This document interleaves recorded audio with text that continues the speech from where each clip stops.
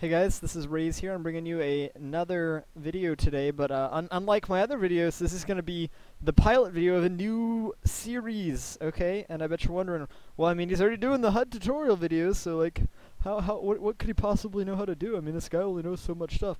Well, um, this is HUD related. It is, it is uh, very in fact HUD related. But instead of modifying a HUD that's already in existence to your liking, how about you just make HUD from scratch? That'd be easier, right? You can get it exactly how you want it to do. And so that's what these these uh, this video series is going to be over. It's going to be a series of, of uh, HUD tutorials, building HUD from scratch. You know, starting at block one, and um, as the videos progress and the and the uh, the episodes or I guess the tutorials add up, then uh, we will reach more and more towards uh, a, a finished product. So uh, basically, I'm gonna kind of explain what I'm doing whenever I'm I'm doing this tutorial, but it's not gonna be so much a okay. I want to change my ammo size. How do I do that type of deal? It's going to be okay. You know, we're going to pick our font uh, for the ammo, and we're going to install that font, and then we're going to put it on the ammo, and then oh, that's too big. We'll change the font. So basically, I'm just going to make a HUD from scratch, right in front of your eyes. I'm going to explain my process. Hopefully, you guys will be able to follow along. And as kind of a nifty deal, uh, I think after every video series, or not every video series, every every tutorial that I do, um, I'm gonna save the HUD in its current state after that video, and I'll go ahead and throw it on my Dropbox, and uh, I'll put the link in the video description. So, like, for instance, let's say uh, you want to start all the way from scratch, but maybe you're having problems with something, and you want to see how I how I did it, like how I I typed it, or, or um, you know, maybe you just liked the styling of something that I did and you want to take it for your own, then uh, I'll, I'll put a zip with all of the HUD files at that current point in time after that tutorial in description. You'll be able to download it and you can use it as the base for your own HUD.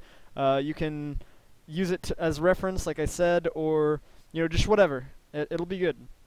But uh, anyways, today's uh, today's video isn't to really cover too much. It's just going to kind of uh, go through the setup process so I can help you guys out with the uh, preparing for this whole editing process because uh, believe me, it can get kind of tricky. And so, uh, even though you guys might not feel like this this setup video is necessary, um, I I honestly feel like if we do all the setup now, it'll be easier in the long run.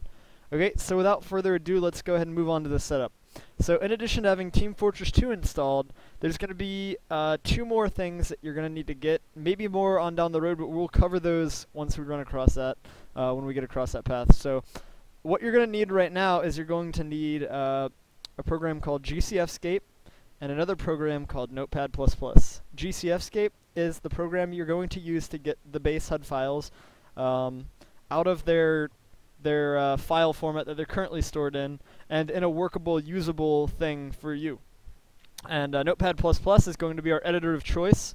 Uh, granted, you can use Notepad, and you can use WordPad, and if you have something else you can use all that, that's fine. But I'm most familiar with Notepad++, and uh, I feel like it does a good job for what I use it for, so I think uh, it'll do a good job for what you guys are trying to do as well.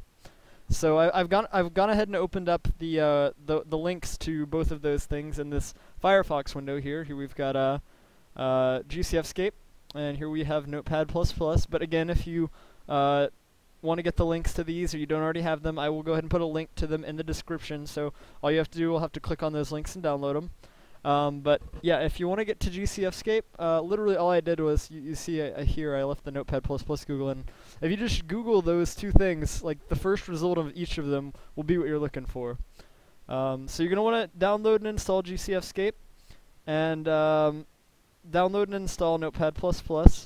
And once you have both of those things installed and on your system, you're you're heading in the right direction to becoming a HUD master. So, good work.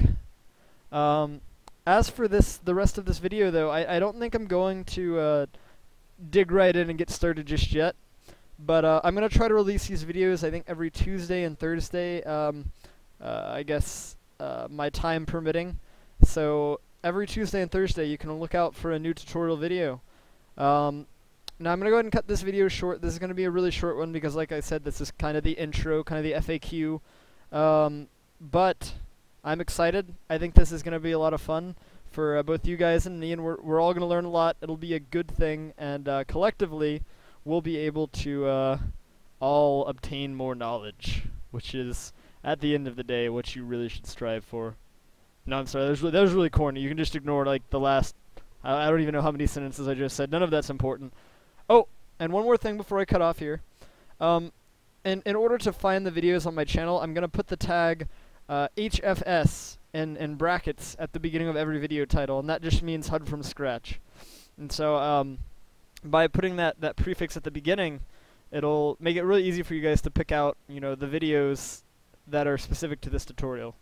I'll also go ahead and throw them on a playlist, but but that's cool. Um, but uh, yeah, it should be fun. And if you guys have any questions about how this whole thing's gonna go, or or uh, anything like that, you you want any more information about how this whole uh, interactive tutorial series is going to go, um, leave a uh, comment in in the uh, in the comment place down below the video here, and uh, I'll I'll see what I can do about replying to it.